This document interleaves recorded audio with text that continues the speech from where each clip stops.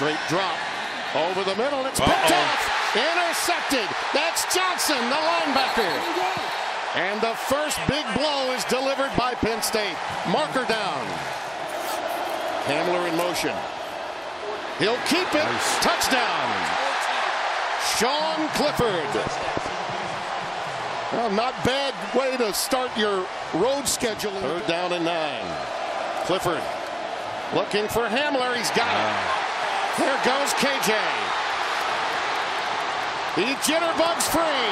There goes KJ for a payday. Penn State, four offensive snaps, two touchdowns.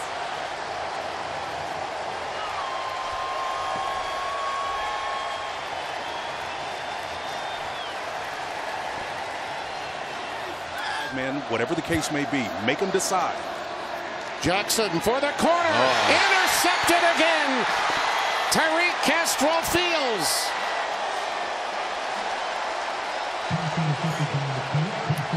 Right now. Twin tight ends. They go to Slade. It's in there. Touchdown. Hmm. That was too easy. Yeah, that was like stealing. Second and two. Little Yeah. curl pattern to the tight end. That's Bowers. It's touchdown.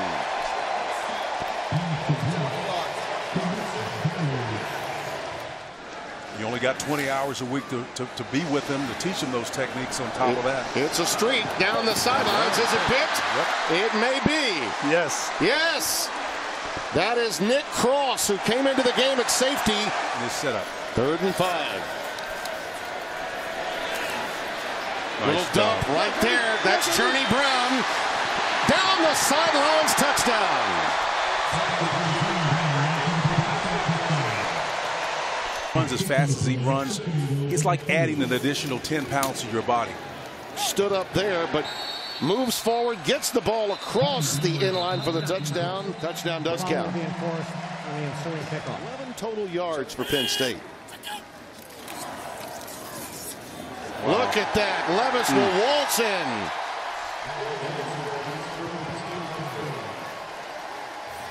Well, he saw his teammate earlier on a similar run, headed in the same direction. All right, coach, your quarterback, Sean Clifford, only five incompletions tonight, 398 yards. What'd you make of the way that he managed this game? I was just really pleased with how composed and how poised he was.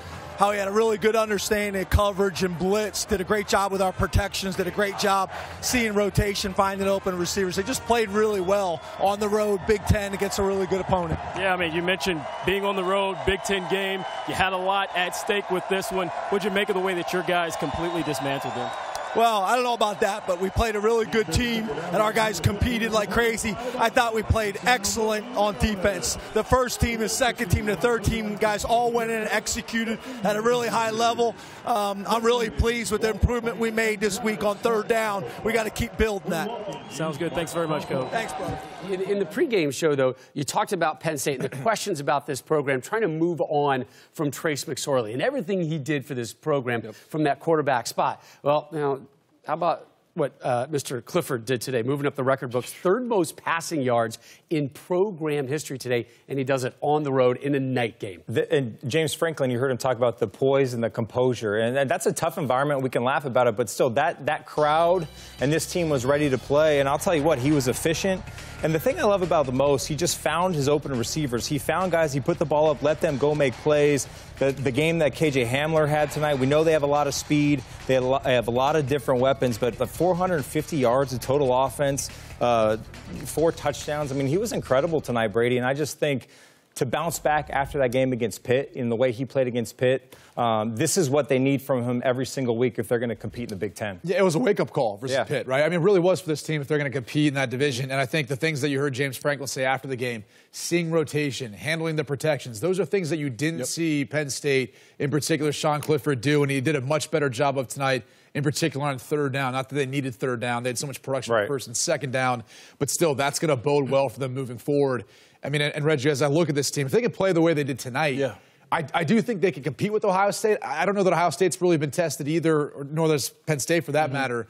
Uh, but it will be interesting to see as these both these two teams grow. Yeah. You know how much closer they, they kind of become together because I, I, do think there are some, some, similarities between the two teams and their style of play. Yeah, yeah, and, and today was a really good bounce back win for for Penn State, even though they didn't lose the last week to it Pitt. felt like it. It felt like it, yeah. right? Because they really got outplayed. Um, one of the things that I wanted to see from this Penn State offense was them protecting the quarterback and just doing a better job at that. I thought they did that. We didn't, didn't see as many missed assignments, missed protections, right? They, they kind of cleaned all of that up. And then they played complementary football on all phases. So those are the things that I like that I saw that they did well. Um, this is a good win for them. I'm not quite sure yet if they're ready for Ohio State, but we're going to find out pretty soon.